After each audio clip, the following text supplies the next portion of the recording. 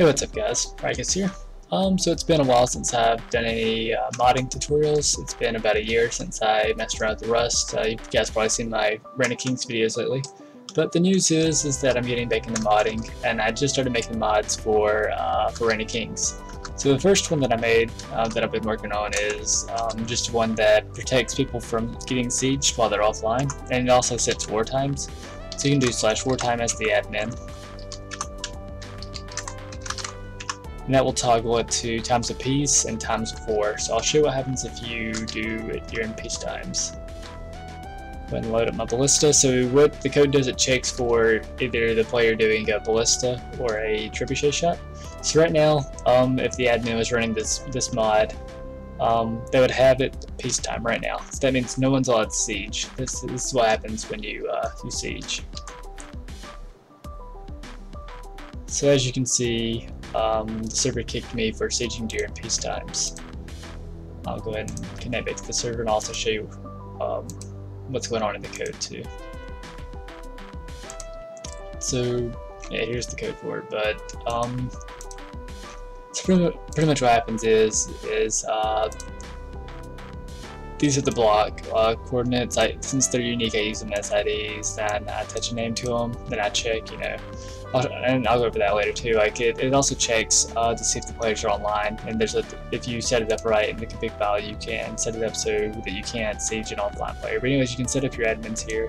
In the config, you can put, um, you can punish them by kicking or banning. Right now, I just have for kick. But if it was banned, it would be banned for one day for illegally sieging. Also, you can announce in chat that people are sieging, and you can, uh, I'll, sh I'll, show you that too.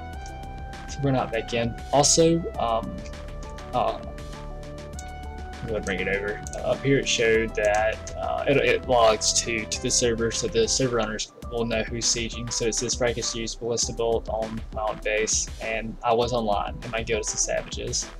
So also says that I did it illegally, so it's not back into the game. Alright, so we can do slash check war time. Time of peace, do not siege, so I'll toggle on the war time. Alright, so time of war, you may now siege online players. So that's how I have it set up the config file, that uh, you can attack online players. So I'll go ahead and load this up.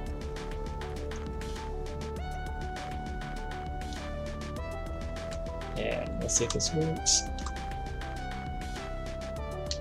it's bugged. So I have to... Right now it's good.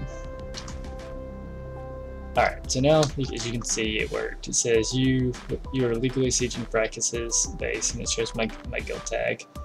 And, and it told the whole server that, uh, that I'm legally sieging my own base, pretty much. So that's it for, the, for this plugin. Pretty much, you know, for, for, those servers, all those servers that don't want you to see people while you're offline, you know, they'll like this. I'm going to start, uh, you know, going over tutorials on how to do the modding for RK. I have a lot of mods in mind that I can make. This is just the first one that I started on a few hours ago.